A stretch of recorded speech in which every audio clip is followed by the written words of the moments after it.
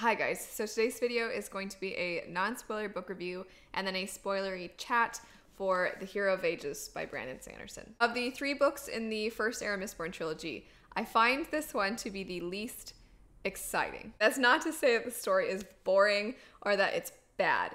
It's just that the characters themselves have had to endure so much in the first two books, that they have persevered through so much hardship and it's starting to take its toll. On top of all that, there are so many reveals, so many discoveries. Our characters are truly pushed to the limit to the point where they they feel so hopeless. They don't think they have a chance. The antagonist is one that they feel like they're fighting blind. They know nothing about. They just don't think they can do it. And reading that does not make for the happiest of reading experience necessarily but it is the kind of story that by the time you get to the end it truly feels like the end of something epic. That's it. That's all I'm going to say for the non spoiler portion. I'm going to jump into the spoilery chat now. So if you haven't read it, please stop watching now. Before I get into all the mushy gushy stuff, because this book just destroys me, before I get into that stuff, I want to ask two questions. First off, I'm going to put a little poll up at the top. How many of you guessed who the hero of ages was. If you guessed it, say yes, and if you didn't guess it, say no. The other question, I don't want for anybody that clicks on this that hasn't read it all, I don't want them to accidentally click on it and get spoiled. So these questions are going to seem very vague. But how many of you figured out that Vin's earring was how ruin was affecting her? If you figured it out, say yes, and if you didn't figure it out, say no. So my second time around, it seemed so painfully obvious that her earring was causing this. The first time I did figure it out, I think I figured it out right around when she was being held captive and then she fought against Marsh. I was like, wait a second. She didn't have her earring in. And all the stuff about the hemalurgic spikes and everything, I was like, oh, I got it, I got it. And then when I got to that part, I was so proud of myself when it revealed that it was her earring. As for Sazed being the hero of ages, I didn't call that. Looking back now, having read it before, I was like, oh my gosh, it's it's so it yeah, he's the hero of ages. You see it and all the little things that he's quoting from all these different religions and you're like, "Oh my gosh, it's you." And the he'll have it on his arms, the fact that they don't use a specific gender and man, reading it this time, I think Sazed's plotline upon reread was so emotional for me.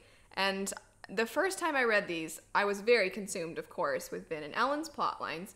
And this time, I knew it was coming. I knew it was coming when I got to the end. Oh, it made me so emotional. I'm sorry, it's gonna be all over the place because I've told you guys that this book is just my, it just destroys me. So I'm super sorry this is so all over the place. Okay, backtracking.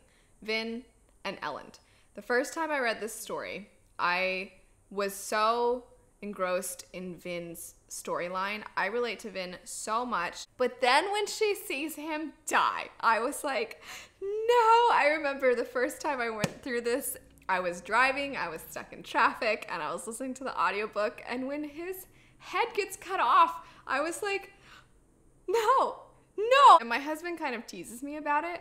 And I'm like, okay, but that's the thing is like, I imagine being Vin and seeing your head get cut off. It impacts me so much because the trust and the love that Elend and Vin have for one another by the end, because they had to go through a lot of frustrations in that second book. But when you get to that end and Vin has to see her husband die. I'm sorry, I feel like I'm shouting at you guys with my emotions here, but I actually do want to read a certain passage because there I tabbed a, a, few things up in the book, and Elend and Vin and Sazed's plot lines to me are some of the most significant throughout the course of this trilogy, and there's a certain passage that I think is just so tragic about Vin and her life and what she's had to go through these past three books. So I wanted to read it to you guys because let's, you know, just wallow in the sadness that is this trilogy. To give this passage some context, this is when Vin is essentially reflecting on the fact that they thought they had it bad before, but they just didn't know. That's kind of the setup for this particular passage. And it says, Yet during those months she had been content, perhaps more content than any other time in her life. She loved Elend and was glad life had progressed to the point where she could call him husband but there had been a delicious innocence about her early days with the crew. Dances spent with Elend reading at her table, pretending to ignore her, nights spent learning the secrets of Allomancy, evenings spent sitting around the table at Clubs' shop, sharing laughter with the crew. They'd faced the challenge of planning something as large as the fall of an empire, yet felt no burden of leadership or weight of responsibility for the future. The reason that particular passage really stands out to me is because of where Vin's story ends up. I'm trying so hard not to get emotional. So, when we first meet her in the Final Empire, she's just so broken and beaten down and timid and afraid. And the the place that she gets put in when she gets kind of swept under Kelsier's wing and his tutelage, she finally has a chance. She has a chance at having enough power and enough confidence to not be so afraid. And she finally finds people that she can trust who love her and that she loves too. And you just want you want a happy ending for her. You want to know that when the fight is over, she can finally rest. She can be with Elend and she can enjoy this love she has for her husband and her, for her friends and she can live in the world that she saved. Gosh darn, it, I'm trying so hard not to get super worked up. So she she never gets to be a part of the world that she saved. And it's like, ah, that passage to me it just it kind of reflects on on that the fact that she she went through so much and then she always still was thinking about the good of the people you know she found glimpses of happiness through all of that and it's like uh, what are you doing to me sanderson that's what it feels like when i read that passage and upon reread i got i got two tabs for that because i was like i have to remember this passage because it just it really really for me is why this book is so beautifully done. Why this stupid story's so good to me. Ugh, I know for those of you that don't love it this much, you know, whatever. I'm sorry because I'm freaking out. Now you guys understand. I wanted to make this video forever ago when I first, the first time I read through this, and I tried so many times to like think through what I was gonna say, and I couldn't do it. I couldn't do it because I was it was just too much for me and, and it's uh, clearly i'm still not making sense it's a bunch of jibber jabber okay composing myself.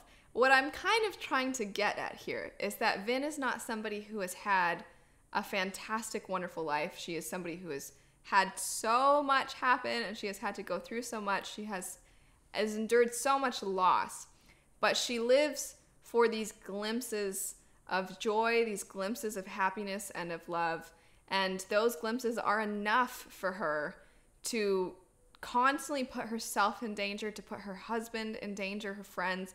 It's all enough for her because she wants to ensure that the world that she loves and that the people of this world are able to someday not have these in glimpses, but to have these as their lives. That's kind of that's kind of my takeaway for from Vin.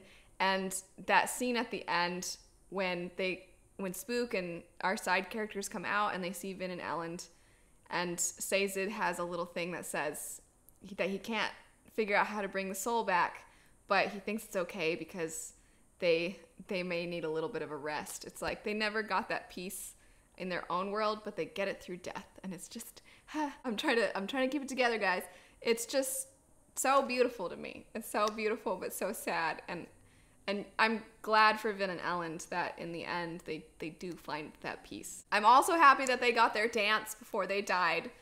Ah, Every scene like that was so much worse this time around because I knew for a fact what was going to happen. And so that dance between the two of them was just so sweet and so silly and just so I'm so happy they got to have that moment together. Elend's plotline and Elend's character growth throughout the story is also one that is extremely transforming. The person that he is at the beginning and the person that he is at the end is so drastically different. And for a lot of people, they actually don't really like where Elend ends up because he's this kind of sweet, idealistic boy who has these dreams of being an amazing individual who can help the world for the better. And the person that he has to be to truly help the world for the better isn't the person that he strives to be.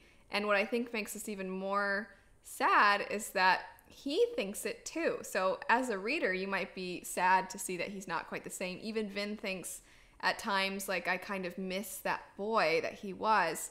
But Elend knowing that for himself, Elend thinking this isn't who I wish to be, but it's who I have to be.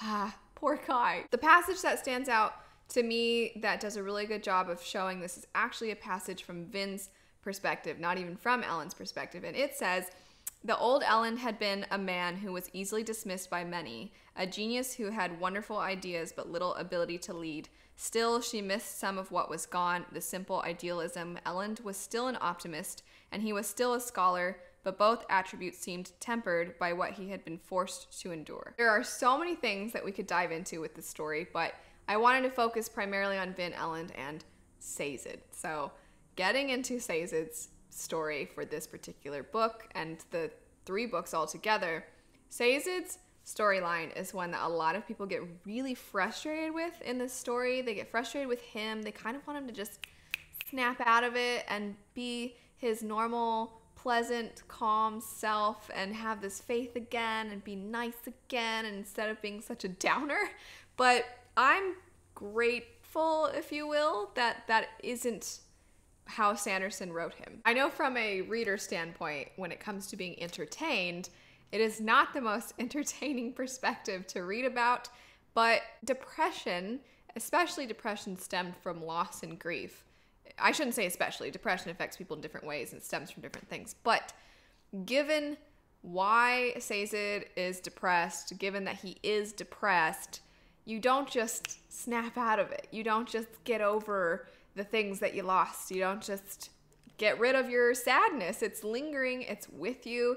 And there are are so many times that I think Sanderson has lines that really portray depression so well. And I just found that Sazed being a character to go through that, it's so impactful to see somebody who should be the one to always have hope, to see that character go through this. It's just one of those things where in real life, even the strongest people, even the best of us, you know, those people can succumb to these kinds of things. And I I really appreciated that Sanderson had his story paced as it was. The line that I wanted to read for Sazed is when he's talking to somebody about faith. So that's kind of the setup for this one. And it says, The sense of despair inside Sazed wanted to snap that simply believing wasn't enough. Wishing and believing hadn't gotten him anywhere. It wouldn't change the fact that the plants were dying and the world was ending. It wasn't worth fighting because nothing meant anything. Nothing meant anything. That is that shows it so well. It illustrates so well what it's like. And there's another line where he's talking to Spook and he's looking at Spook and thinking about how much Spook cares and how much Spook is trying and he thinks Spook cares and I don't. That's just his that's just what it is. And to see that and say that I know I'm kind of reiterating the same points over and over again with his character, but I just personally I really really felt that Sanderson did the mature thing, if you will. He didn't go for the just, oh, isn't it sad? Well, he's better now. I'm glad that it wasn't that and that he really let us feel what Sazed was feeling. And Sazed is just such a sweet person, just a sweet little soul. And at the end of the story, when he sees Vin and Elend, and he is thinking like, oh, no, it can't be me. And he thinks like, I am no hero that line, ah, I'm like, you are though. And he even at the end thinks about how Vin was, of all the people that held preservation, that Vin was perhaps the most worthy, which I love Vin, but also Sazed is such a good, kind soul. And for him to even in his basically godhood to think that is so sweet and so telling of his character. Anyway, I'm gonna cut it off here. I know again that there are so many things that we could talk about. We could talk about Spook, we could talk about the Kandra and TenSoon. There's just so much that we could talk about with this story. But I want to leave some of it up for conversation with all of you. Let me know what your favorite parts of the story were. Let me know if you didn't love it and if it was impactful to you, if it wasn't impactful, just in general, let me know your thoughts. Thanks so much for watching. I hope you guys have a great rest of your day, and I'll see you all later. Bye.